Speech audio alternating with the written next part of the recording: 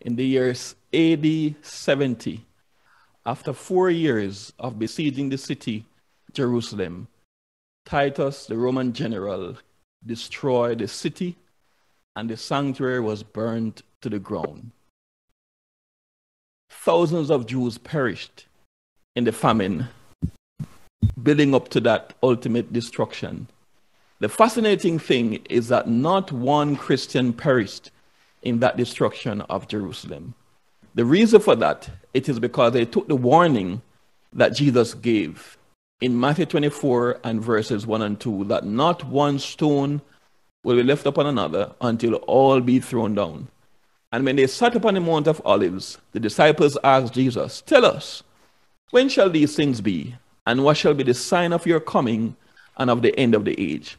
And based upon listening to the warnings of Jesus, the disciples were able to escape the destruction of Jerusalem. Within that same sermon, Jesus also gave some signs about the end or the closeness of the time of the end that we can use to escape destruction just as the disciples did. Welcome. My name is Damian Chambers, and I'll be a presenter for this evening presentations on five evidence that we are living in the very end of time. We're talking this evening about five biblical signs that we are living in the very end of time. Let us pray. Father in heaven, let your Holy Spirit take charge now. Bless your people and exalt the name of Jesus. We pray in Jesus' name. Amen. Jesus warned the disciples in his sermon in Matthew 24 that no man know the day nor the hour of his coming. But he also encouraged them in Luke chapter 21 and verse 28. He says, And when these things begin to come to pass, then look up and lift up your heads, for your redemption draweth nigh. In other words, though we do not know the day nor the hour when Christ comes, Jesus gives us signs to indicate when his coming is near so that none of us need to be caught off guard. Similar to what the disciples experienced in the destruction of Jerusalem in AD 70, because they took the warning of Jesus, no one perished in that destruction. So let's go with sign number one. That is Jesus' Sermon on the Mount, Sermon on Mount of Olives in Matthew 24. That's the one we're going to look at. Um, the setting of this presentation is that Jesus was responding to a question that the disciples asked. As he was leaving the temple, the precincts of the temple, Jerusalem, the disciples sought to grab his attention and said to him, um, Look at these stones, how beautifully decorated they are. And Jesus said to them in verse 1, let's it that verses 1 and 2, Matthew 24. Go, go back to the Matthew 24, verses 1 and 2. Jesus said to them, You see all these things? The time is coming when one stone upon another will be thrown down, and will not be left upon another because all will be thrown down. And while he sat upon the Mount of Olives, the disciples asked him the question, Tell us, when shall these things be, and what shall be the sign of your coming and of the end of the age? So Jesus was responding to a dual question. The disciples thought they were asking one question, but Jesus knew it was two because Jesus knew that the, gent- the time of the Gentile would come. The disciples, all, the, the disciples always felt that the Jews were the only people of God. And so once Jerusalem is destroyed, then that would be the end of the world. But Jesus knew that, that the Jews would be rejected uh, based upon the prophecy of Daniel, and the Gentiles representing the church would have the opportunity to demonstrate their own faithfulness. And then the end will come. And so Jesus answered both questions in one. Okay? And so he gave them in Matthew 24 and verse, starting from verse 4, he says, Let no man deceive you. For many shall come in my name, saying, I'm Christ, and shall deceive many. The idea is that Jesus said to them, Wars and rumors of wars, pestilence, earthquake, famines, persecution, all of this will take place before the destruction of Jerusalem. Okay? But it would also be become a dual prophecy because these signs will also take place before the second coming of Christ. Matthew 24 might seem like a straightforward chapter, but it is not straightforward because Jesus mixed two events into one, one representing the other the destruction of Jerusalem first, and then the second coming of Christ. But if you watch carefully, you can know, you can discern them. So, so the first one I want to let you know, and, and we are seeing now today with the COVID um, 19, we are witnessing one of those signs that Jesus indicate would take place before his second coming, which is a pestilence. And we have we have heard of wars and rumors of we have been through two world wars. We have we have seen famine and earthquake and persecution and low morality and the gospel being preached into all the world. These are the first indication that we are living close to the second coming. But as I said before, these signs are dual in application. I'm going to go to, my, to, to the second sign, which is signs in the sun, moon, and stars. Because these signs that Jesus gave are unique to the second coming of Jesus. So while the wars and the rumors of wars took place both before the destruction of Jerusalem and the second coming, the sign about the sun, moon, and stars are specific to the second coming of Jesus. And so Jesus says, immediately after the tribulation in those days, the sun will be darkened, and the moon shall not give her light, and the stars will fall from heaven. There are some schools of thought, there are some schools of thought who suggest that the great tribulation is yet future.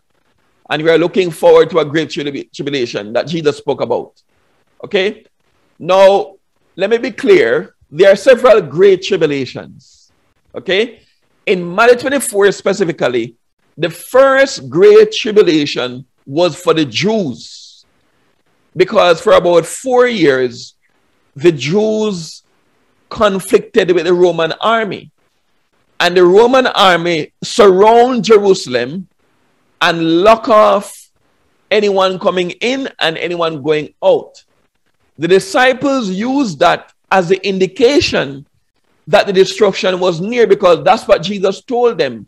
When you see Jerusalem surrounded with armies, then know that the destruction thereof is nigh. And so when the Roman army retreated for a while, for, for, for no reason, the, the, disciples fled into the mountains based upon the instructions of Jesus, and they did not perish in the destruction. But the Jews remained in the city, the Jews who did not believe. And the Roman army returned, and when they returned, they redoubled their efforts. And as a result, there was famine in Jerusalem. When the Roman army returned, there was great tribulation in Jerusalem in that it, it became so bad that mothers ate their own children. That's how, that's how deadly the famine was. That was the great tribulation for Jerusalem and for the Jews. But Jesus says that if those days were not shortened, then none of the elect would be saved because what Jesus did was to also use that same great tribulation to refer to the time of the dark ages. Jesus, based upon the prophecies of Daniel, knew that not only the Jews, but also the Christian church, the Gentile church, would also face a great tribulation.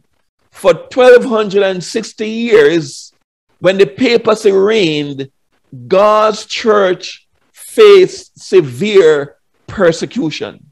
And that was a great tribulation. That was also coming, that Jesus mingled both of them and said, if those days were not shortened, no one will be saved. And therefore, when he said, immediately after the tribulation of those days, he was now referring specifically to the second great tribulation, which is the dark ages.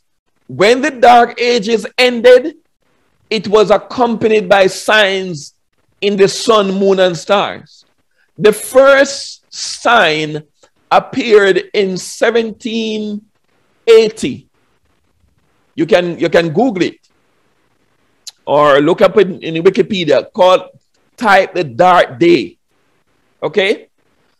On that day, when the sun came up in the morning, at about nine o'clock, a darkness came over the earth as if it was midnight. Rooster went back to their roost, and everything went back as if it was night, and people had to go inside. And it remained thick dark for the entire day. The only change was that at nine o'clock in the evening, the moon came up, but when it came up, it uh, had the appearance of blood.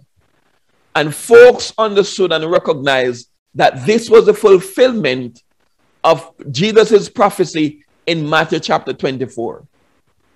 Okay?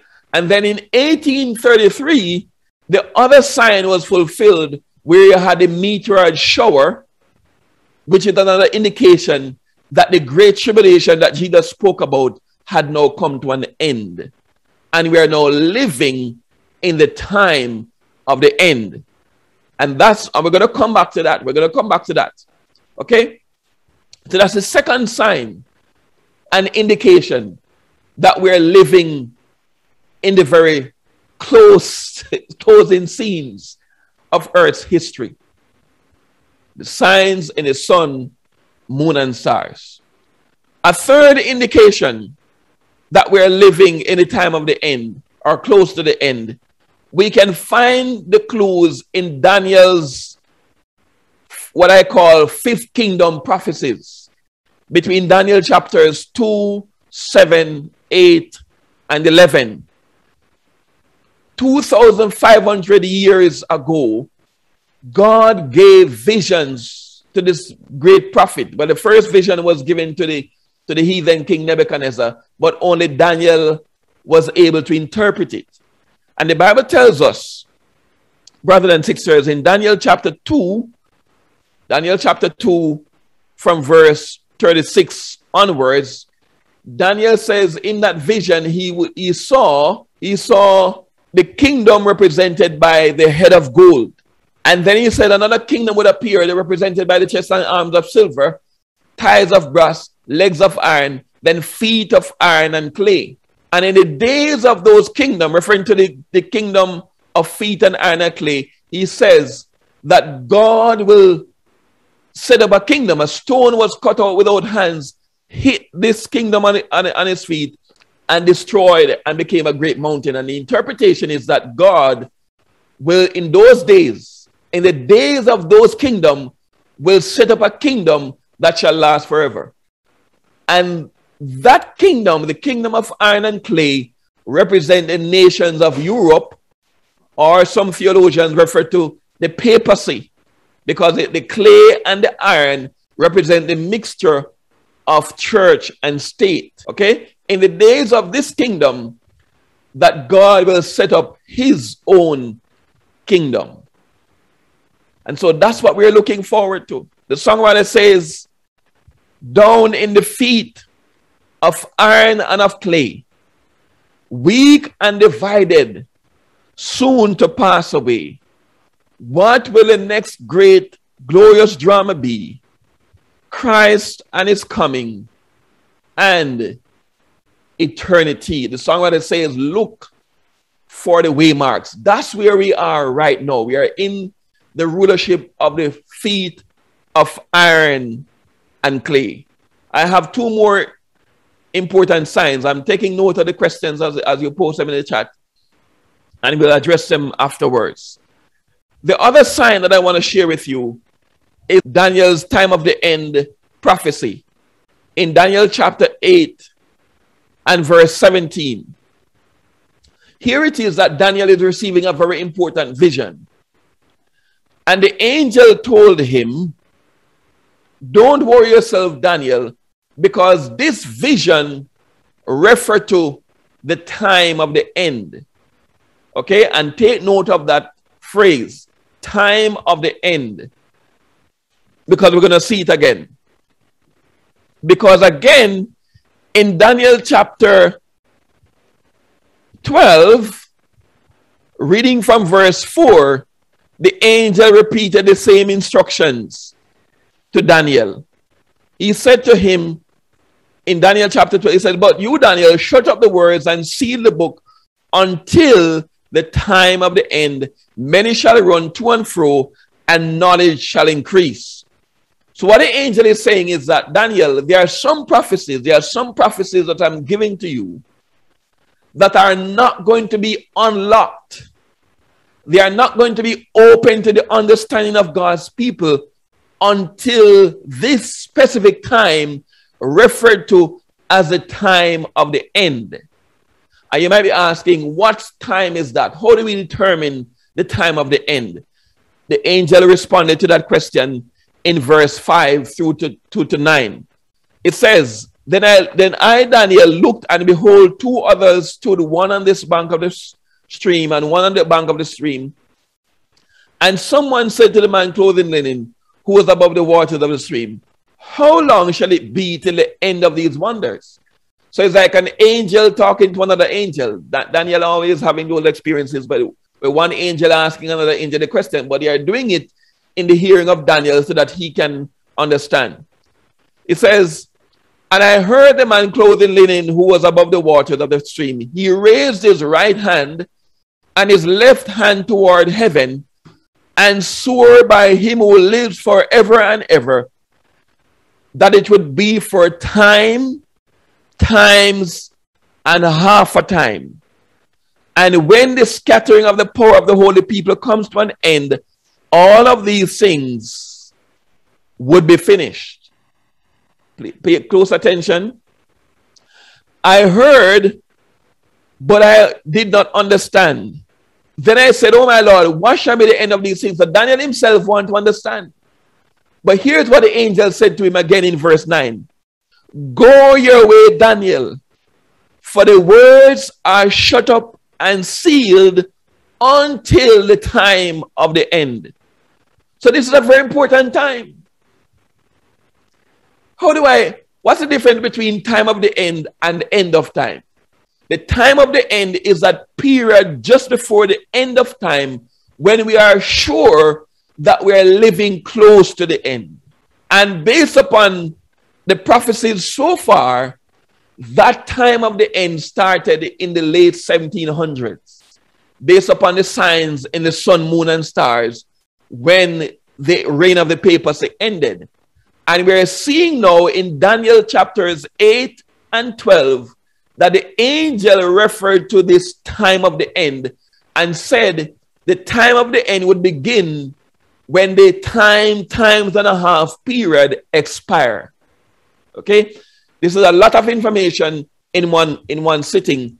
But I am giving you this broad overview so that when you go to study the Bible prophecies, you don't get drowned so, so, so, so what we have concluded so far is that the time of the end will begin at the end of that time, times and a half period.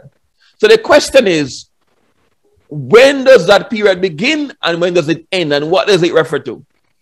Well, again, God's God's God's Bible prophecies are amazing because reference to that time, times and a half a time is made about four times in scripture. The first time is in Daniel chapter 7, and it is made in reference to the reign of the little horn power. The second time it is referenced, it is also referenced in Revelation chapter 13. Um, I, I no, no, not Revelation 13. Revelation 13 is 42 months, but it's the same time period is Revelation chapter 12. It is referred to as being the period of time when the woman had to flee into the wilderness. God is referring to the same time period right through those prophecies. Revelation, Daniel chapter 7, Revelation 12, Revelation 13. It is referring to one time period, and that is the reign of the papacy, the reign of the Antichrist during the Dark Ages. And what the angel is saying to Daniel that these prophecies, these prophecies of Daniel are, are kept, they are kept locked and sealed until the time of the end. And, and when that time expires, knowledge shall increase and many shall run to and fro. This is knowledge of the prophecies will increase.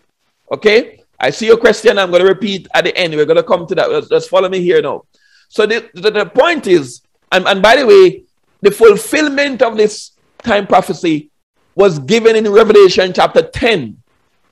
Because what you find, brethren, is that there, there's Daniel and Revelation are, are twins. You can't separate them because they are speaking about the same future. So, so you have to connect the dots with them. Revelation chapter 10, and I'm so sorry that the screen is not working where I could put it on it to show you. Revelation chapter 10 revealed to us, and, and, and just take note of it, and when you go home, you read it. Well, you're home now, hopefully.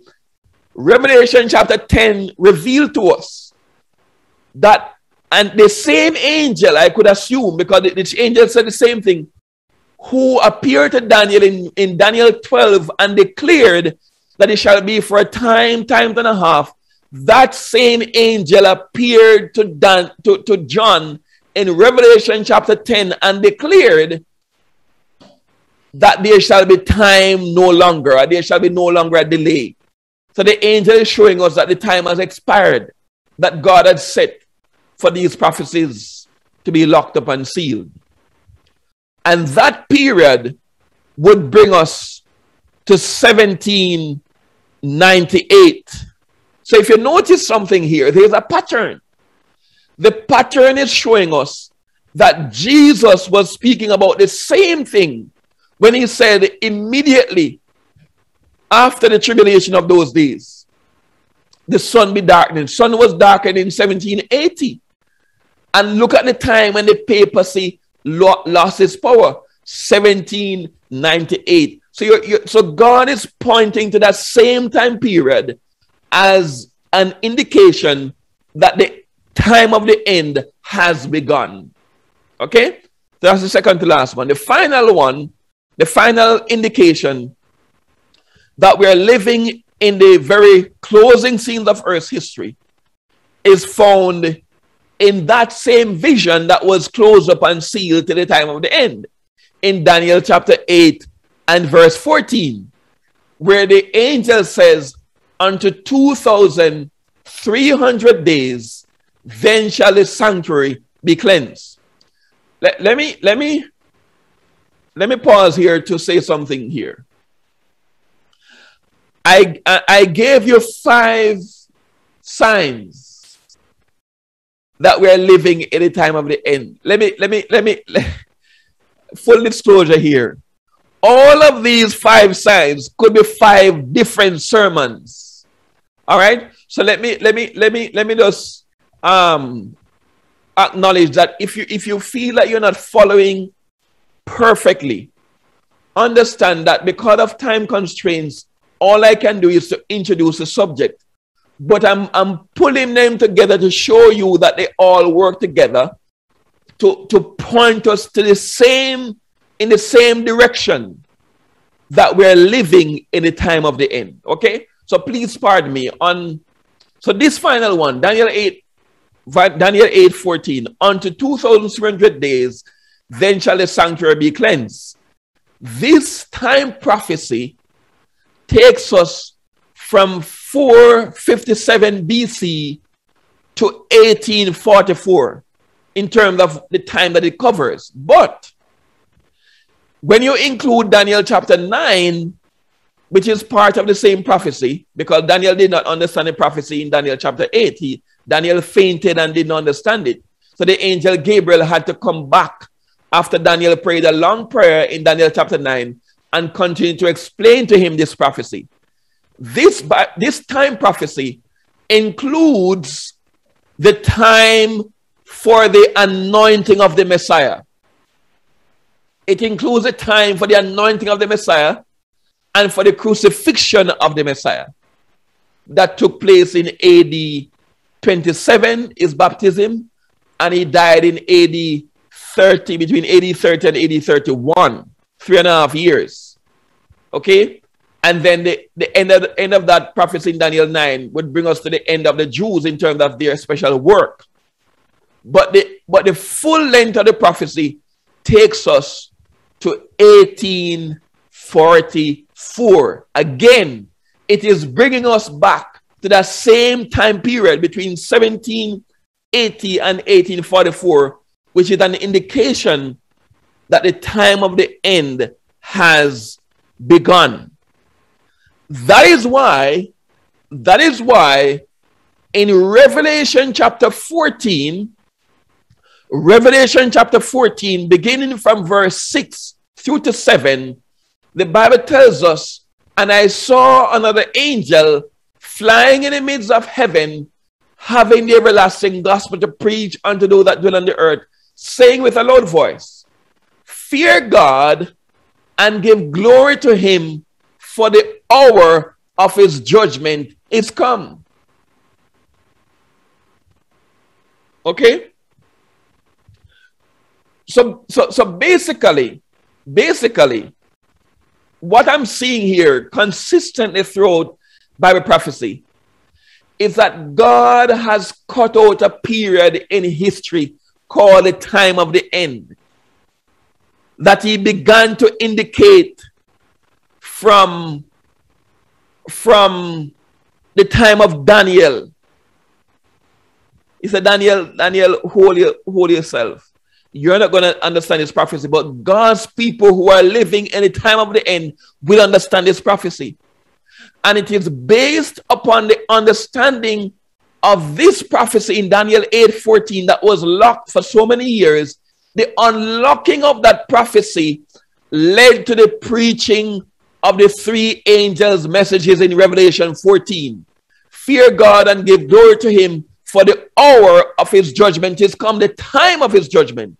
Because Daniel 8 14 referred to the time of God's judgment, the time for the heavenly sanctuary to be cleansed, the time for Christ to close up His work of intercession, the time for the day of judgment, the Yom Kippur, for the heavenly sanctuary to take place.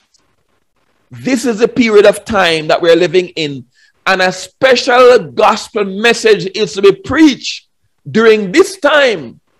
We are, we are saying that this is a gospel message to be preached in this time.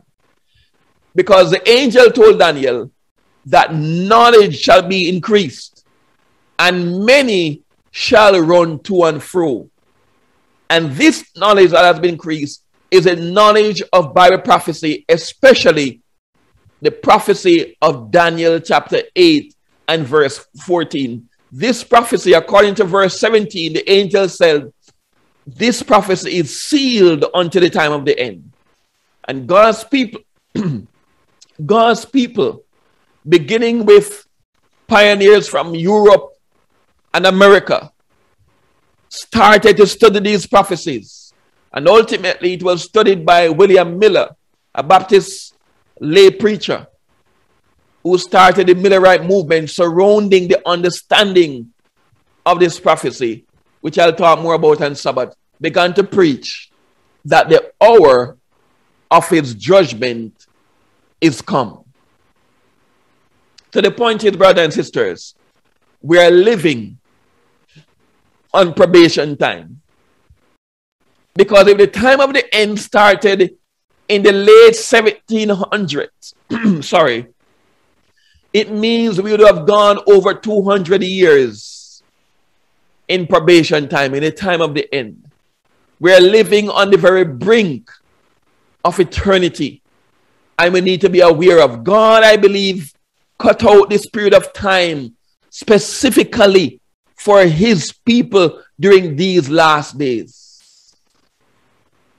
And God, listen, listen, God is in no hurry. And that's why he said in Revelation chapter 7 hold back the winds of strife until we have sealed the servants of our God in their foreheads. Those who ignore the signs, Apostle Paul tells us that many will say, when they say peace and safety, sudden destruction will come upon them. It is my prayer, brothers and sisters, that you and I will be ready for the second coming of Jesus. We'll use this probationary time to prepare ourselves for what is to break upon the world because once this message is completely preached, it will be the close of probation. Because we would have gone through the final judgment, the, the, the executive judgment that God told Daniel about 2,500 years before. Amen.